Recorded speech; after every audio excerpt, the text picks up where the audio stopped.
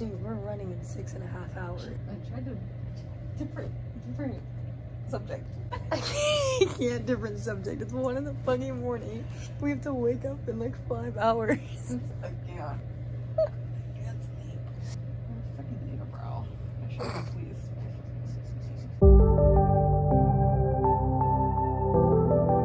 Good morning! Welcome to half marathon day. How are you feeling? Anxious. I'm so scared. Unprepared. Unprepared. Oh, what is another word? well, I'm just not ready. So, Yeah. how much sleep did you get? Probably like an hour and a half, but I feel good. I slept. I think I slept for like four hours. Yeah, so, you slept a good amount. It was funny though, because every time I'd wake up, if I woke up in the middle of the night, Moira's over there just scrolling through her phone. And now we're going to the freeway. Oh wait, no. No, no, wait, actually turn left. not. Turn left at the light. Where are you going? I'm going to the race. Can't wait. We'll see you guys at the start line. Mm-hmm.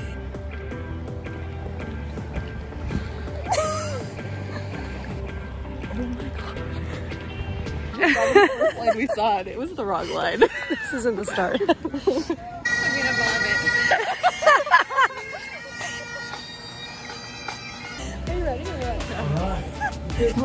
We found our pacing.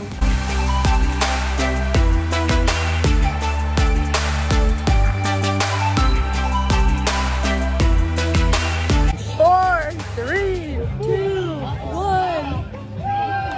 Everyone starts with a nice walk. Stroll.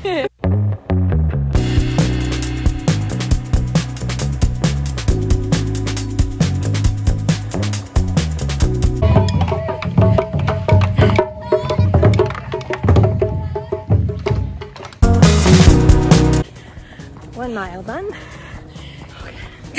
Ready?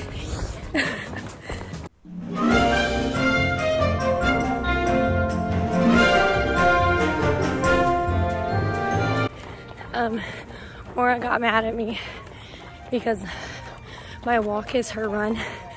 So she made me run ahead of her. And I'm sad because I wanted to run with her the whole time. I think we're almost mile four and we're not feeling good at all. I highly regret leaving Moira because it's so lonely and so quiet and we have no headphones.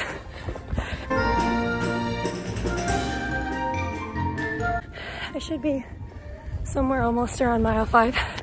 This sucks.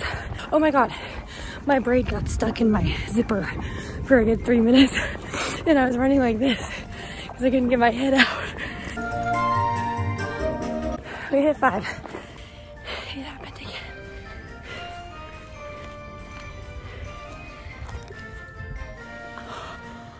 Ow.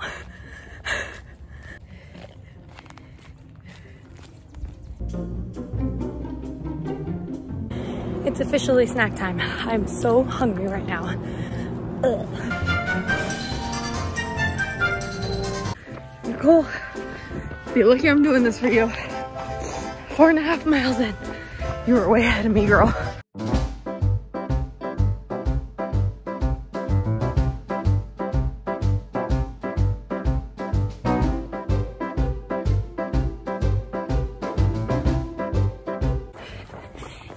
Eight miles in.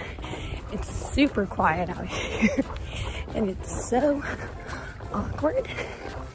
And my water is so loud. All right, Nicole. Again, only videoing for you.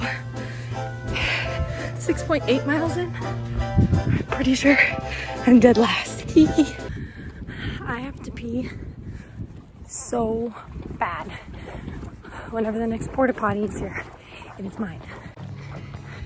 I'm not gonna, I'm not gonna pass them to use them. Oh my God, no. No.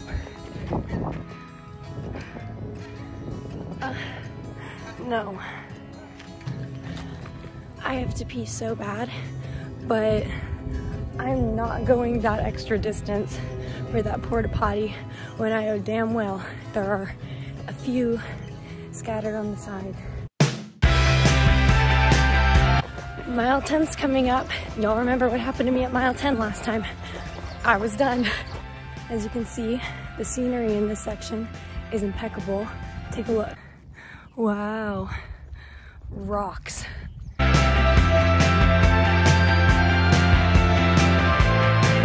All right, Nicole, checking in with you one more time. I'm coming up on 10 miles, which means I've gone the furthest I've ever gone in my entire life. Mile 11, two to go. I'm in pain. Oh my God. I literally just farted and ran away from somebody. It was loud. She heard me and I ran. By the way, we just passed mile 12. I forgot to take a video of the marker, but one mile to go. One more. I hear people.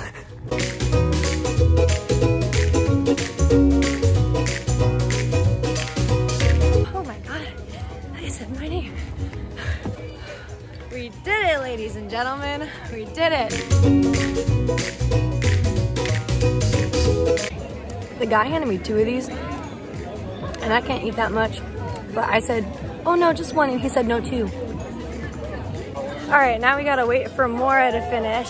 Oh my God, a mariachi band. Less than a mile left, Nicole. But my body has given up. Moira is coming in hot. Yeah!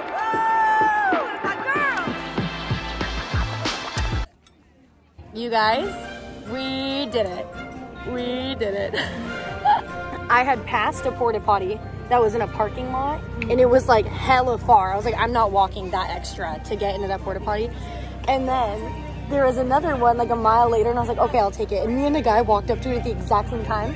And I was like, oh, you can have it. And he's like, no, you got here first. And I was like, great. So now he's standing outside waiting for Oh, me to be done. Yeah. And then I was in there and it's like a surfboard, my dude. Like I literally stepped foot in the whole thing, and I almost fell. Like I almost fell off the toilet and I was like, oh my god. And I heard him laugh outside. And, like was convinced that it was going to topple when I was sitting in it. I was well, I couldn't tell. I was like, am I lightheaded or dizzy or did that just happen? And then I was like, no, that just happened.